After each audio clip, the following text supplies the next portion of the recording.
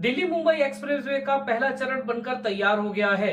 आज प्रधानमंत्री मोदी पहले फ़ेज़ दिल्ली से दौसा तक के तहत 240 किलोमीटर लंबे दिल्ली दौसा लालसोट खंड का उद्घाटन करेंगे। 240 किलोमीटर लंबे इस फ़ेज़ को आज से पब्लिक के लिए खोल दिया जाएगा। फ़ेज़ वन के उद्घाटन से दिल्ली और जयपुर के बीच का सफ़र आसान हो जाएगा। 12,150 करोड़ रुपए से अधिक की लागत से बना दिल्ली मुंबई एक्सप्रेसवे का यह पहला खंड पूरे क्षेत्र के आर्थिक विकास को बढ़ावा देगा। आइए रुक करते हैं कार्यक्रम स्थल का, जहाँ पर प्रधानमंत्री नरेंद्र मोदी एक्सप्रेसवे के उद्घाटन के लिए मंच पर पहुँच गए हैं।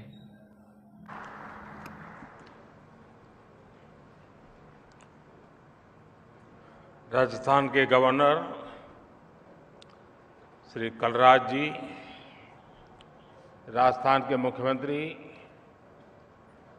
श्रीमान अशोक गहलोत जी हरियाणा के मुख्यमंत्री श्रीमान मनोहर लाल जी, केंद्रीय मंत्रिमंडल के मेरे सहयोगी नितिन गडकरी जी, गजेंद्र सिंह शेखावत जी वीके सिंह जी, अन्य सभी मंत्रीगण, सांसदगण, अन्य महानुभाव, देवी और सज्जनों, आज दिल्ली मुंबई एक्सप्रेसवे के पहले चरण को, राष्ट्र को समर्पित करते हुए मुझे बहुत गर्व हो रहा है।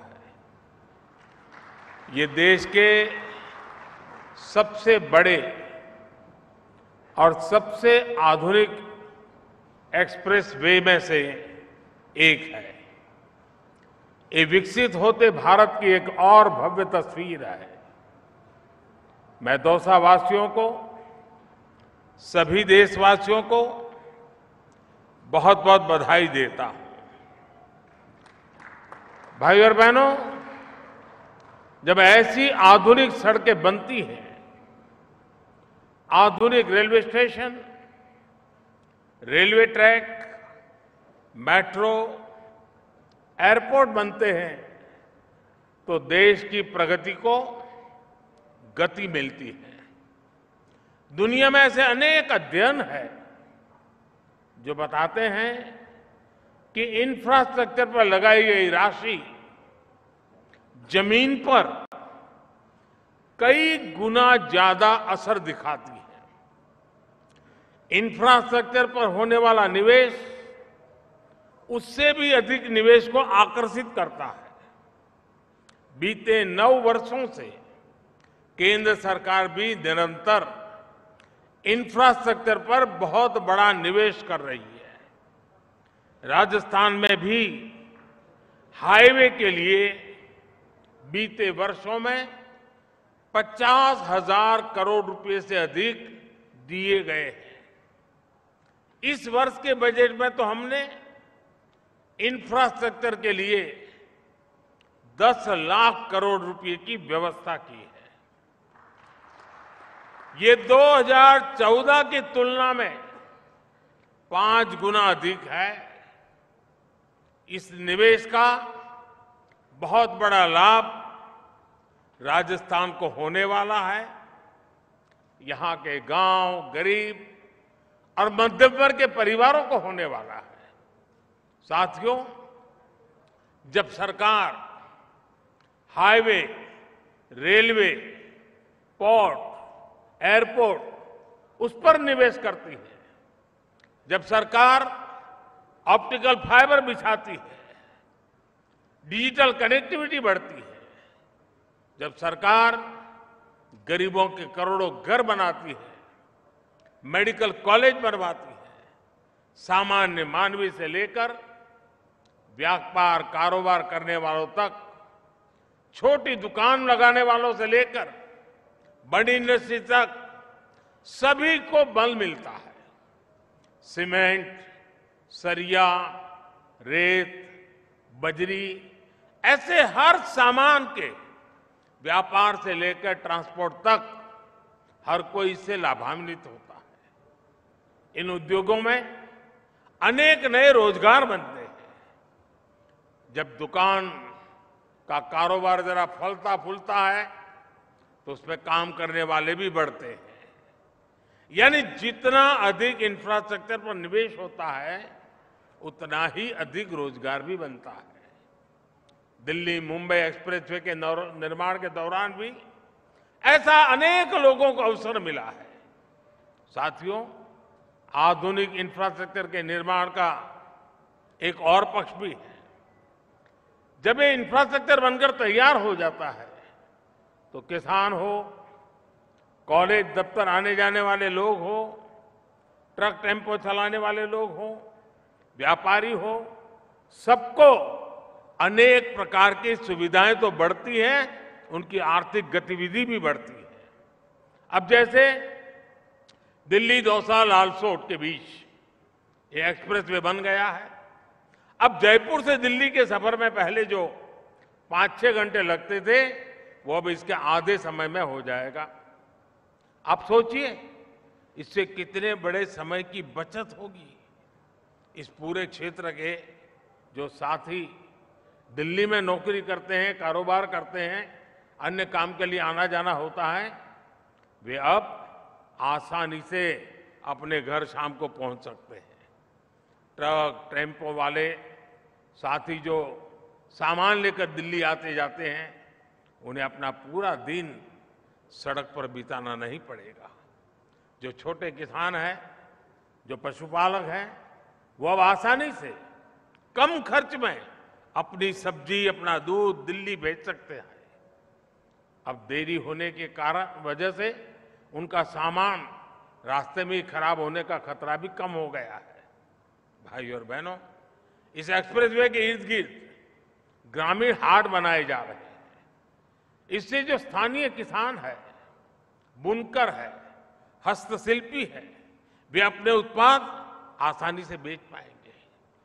दिल्ली मुंबई एक्सप्रेसवे से राजस्थान के साथ साथ हरियाणा, मध्य प्रदेश, गुजरात और महाराष्ट्र के अनेक जिलों को बहुत लाभ होगा। हरियाणा के मेवात और राजस्थान के दौसा ज़िले ऐसे जिलों में कमाई के नए साधन तैयार होने वाले हैं। इस आधुनिक कनेक्टिविटी का लाभ सरिस्का टाइगर रिज़र्व केवलादेव और रणथंबोर नेशनल पार्क जयपुर अजमेर जैसे अनेक पर्यटक स्थलों को भी होगा। देश और विदेश के पर्यटकों के लिए राजस्थान पहले ही आकर्षक रहा है। अब इसका आकर्षण और बढ़ जाएगा। साथियों, इसके अलावा आज तीन और परियोजनाओं का शिलान्यास हुआ है। इनमें से एक परियोजना जयपुर को इस एक्सप्रेसवे से डायरेक्ट कनेक्टिविटी देगी। इसे जयपुर से दिल्ली तक का सफ़र सिर्फ़ ढाई घंटे, तीन घंटे तक रह जाएगा। दूसरी परियोजना, इस एक्सप्रेसवे को अलवर के पास अंबाला कोटपुतली कॉरिडोर से जोड़ेगी।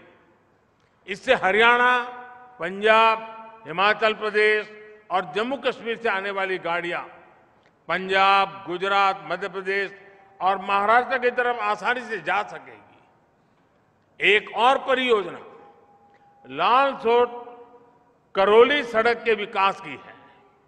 ये सड़क भी इस क्षेत्र को न सिर्फ़ एक्सप्रेस वे से जोड़ेगी, बल्कि क्षेत्र के लोगों का जीवन आसान बनाएगी। साथियों दिल्ली मुंबई एक्सप्रेसवे और वेस्टर्न डेडिकेटेड फ्रेट कॉरिडोर, ये राजस्थान की, देश की प्रगति के दो मज़बूत स्तंभ बनने वाले हैं। ये प्रोजेक्ट्स आने वाले समय में राजस्थान सहित इस पूरे क्षेत्र की तस्वीर बदलने वाले हैं। इन दोनों प्रोजेक्ट से दिल्ली मुंबई इंडस्ट्रियल कॉरिडोर को ताकत मिलेगी। ये रोड और फ्रेट कॉरिडोर हरियाणा और राजस्थान सहित पश्चिम भारत के अनेक राज्यों को बंदरगाहों से जोड़ेंगे।